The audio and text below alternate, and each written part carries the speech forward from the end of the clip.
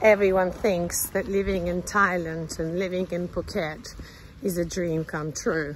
That everything is so simple, so easy, nothing is a bother. You are a wealthy person moving there from, let's say, USA or UK or Canada. But let me tell you, in this episode, I'll give you the reasons why you shouldn't move to Thailand and what challenges you will face living there. So stay tuned and subscribe to my channel. People think that they're gonna survive on $500 a month in Thailand. Uh, look, uh, let me disappoint you, it ain't gonna happen. Um, especially if you are in Phuket, which is one of the most famous tourist destination in Thailand, probably Pattaya as well. It'll, it'll cost you a lot more than $500 per month.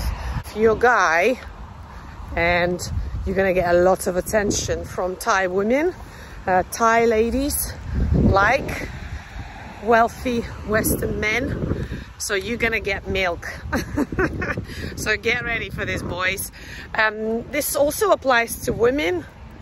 You know, girls, if you think that your online job that generates you, right, let me cross the road, generates you 500 dollars or pounds a month, also, uh, you know, not going to be enough. During consultations, I get asked a lot of questions um, regarding employment in Thailand. And guys, I mean, I'm going to tell you the general practice, okay? Things are different. And things are different in Bangkok, in Phuket. I'm going to tell you about Phuket, what is common, um, because that's where I lived for a year and a half. Kind of know what I'm talking about, have a lot of connection. And by the way, I'll tell you later how to book a consultation if you require one. So anyway, most employment contracts are six days. So do you want to work six days? So you're basically escaping in the rat race from where you are because that's the, the reasons most people want to move to Thailand based on my research and the people that I talk to during my consultation, they just all hate uh, their life and they're escaping to try to find something better. So let me tell you, in Thailand, the contracts are six days a week. and the hours, I mean, eight hours, 10 hours, 10 hour day. Salaries, I'm gonna tell you in baht because I don't know where you're watching me from. So pop a conversion on your next screen so you can see exactly what I'm talking about. But average salary would start from about 27,000 baht.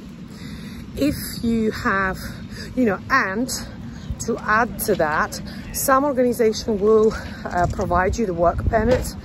Um, you know, the visa, the working visa, but Sam, you would need to do it yourself. That's another 80,000 baht a year, plus the extension, plus everything else. What's going on? Oh, sorry, I thought somebody's kicking off. Anyway, I'm in Latvia, by the way. Hence the background does not have palm trees. And I'm wearing this. do my steps now. So yeah, working in Thailand, yeah, I wouldn't recommend. Personally, would not recommend. So you're thinking now, okay, what's what's what's the solution then? The solution is you need to work online. You need to get a job, either US based, Canada based, uh, you know, I don't know, Switzerland, UK, where the salaries are, uh, you know, above the minimum wage. You know, I don't know, talking 15, 20 um, dollars an hour and that what would be the best option for you. Consultation, guys. If you need a consultation where I can help you to make the best decisions, cut corners, uh, find solutions in the most efficient way, because I've already done that. So, um, you know, I know how local people work, okay, and what is the best approach to use with them. Thai people do not like pressure you know, um, they don't like it. As soon as you pressurize them, that's it. You ain't gonna hear from them again. Plows plus, plus, they not, uh, they don't like punctuality. I'm an absolutely freak uh, when it comes to punctuality. If you're late and you disrespect my time, that's it. I'm absolutely fuming. Um, for me, that's just the respect. So if the person doesn't respect my time, don't want to deal with them, don't want to have any business with them. Sorry, I'm being so, I'm kind of in the, kind of a, I don't know, maybe my period is coming up. But anyway, I just feel a bit on edge.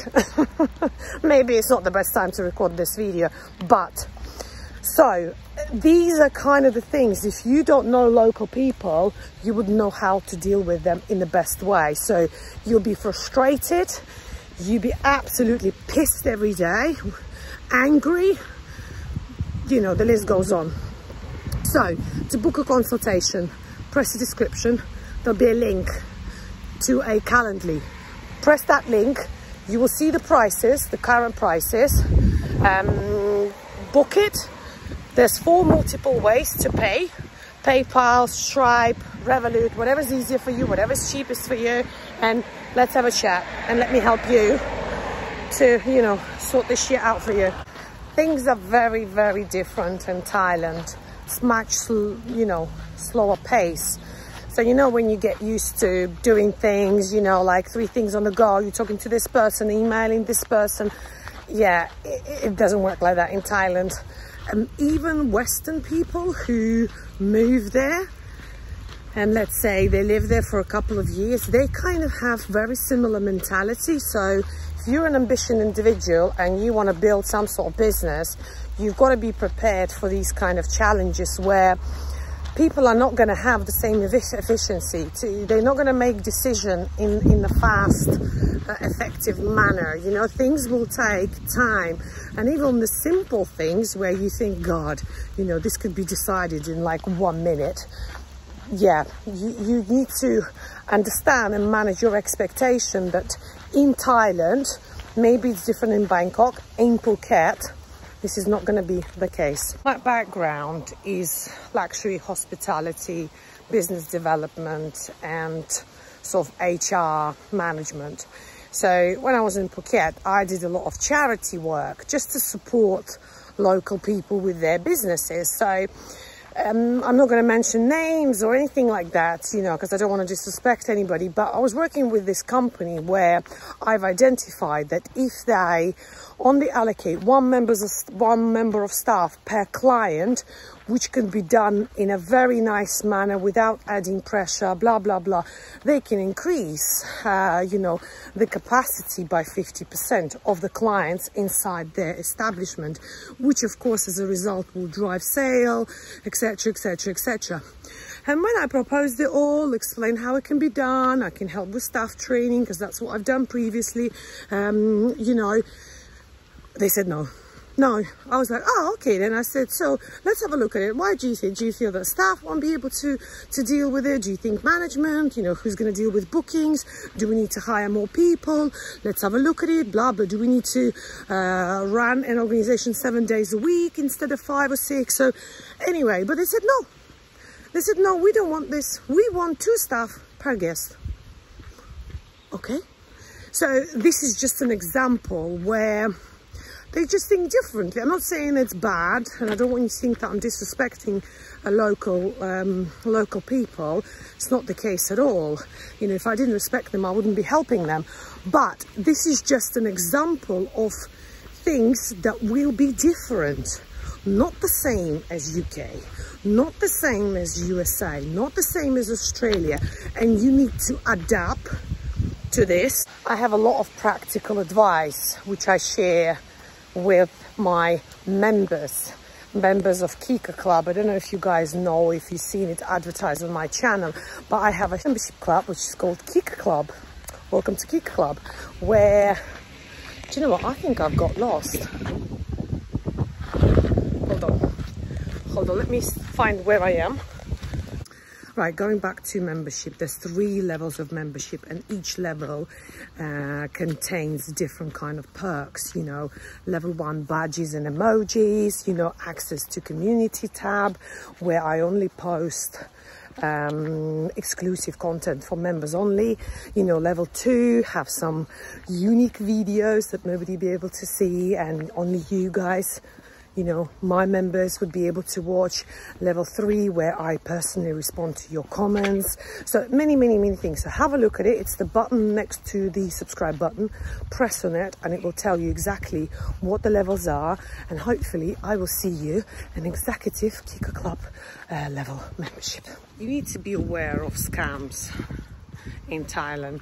Something really bad happened to my friend where and I don't know if I should discuss it here or maybe I should move it to my members club only but I'm gonna give you a little bit. Basically Thai police took her passport for something okay which isn't legal and were asking her for 1 million baht. I will continue this topic in in my membership videos because I can't have these kind of discussions in open videos, unfortunately, um, as I will get in trouble from YouTube. These kind of situation happens quite frequently, quite regularly, so you need to watch out for that. You know, a lot of people go to Thailand um, being very naive, thinking, oh, everyone's smiling, happy days, palm trees, driving on a motorbike, barefoot, thinking they're the dog's bollocks, living their best life, but okay, this is not the case. This is, you, you gotta be smart and very resilient, very patient. Yeah, there's a lot of qualities you need to have in order to succeed, unless you have a passive income or some sort of online job which you know generates you sort of two thousand dollars per month then you'll fine you'll be fine. So uh, yeah just be smart. Don't trust anybody. Subscribe to my channel so you can watch more videos like this. I will continue to post videos that are available to uh, to everyone to watch. Join my membership for exclusive content and i'll see you very soon